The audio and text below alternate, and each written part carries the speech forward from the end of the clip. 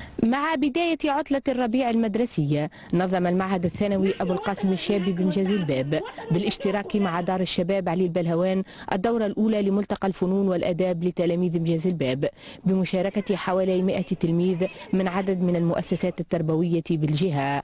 المرأة التونسية هي مرأة معناها حرة وهي مرأة مكافحة وحرة معناها هي نصف المجتمع. شنو اسمه العرض اللي قدمتوه تو؟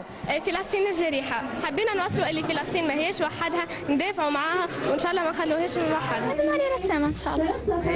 نحب نحب نعطر معناها نحسن من روحي في الرسم بين العروض المسرحية والغنائية وورشات ومعارض الرسم والإلقاء والشعر تنوعت العروض التي مثلت فرصة لإبراز مواهب التلاميذ في الفنون المختلفة والتعريف بها لجمهور غفير وكب هذه العروض وشجع مختلف المشاركين.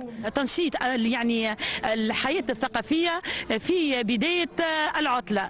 ثم يعني فسح مجال للتلميذ للتعارف للقاء. وربما الهدف الأهم هو تثمين الإبداع التلمذي. دار الشباب هي محضنة للشباب التلمذي أو الشباب العاطل عن العمل وصارت العادة ونعمل عديد التظاهرات والمشاريع التنشيطية في هذا الإطار خاصة في دعم المواهب التلمذية.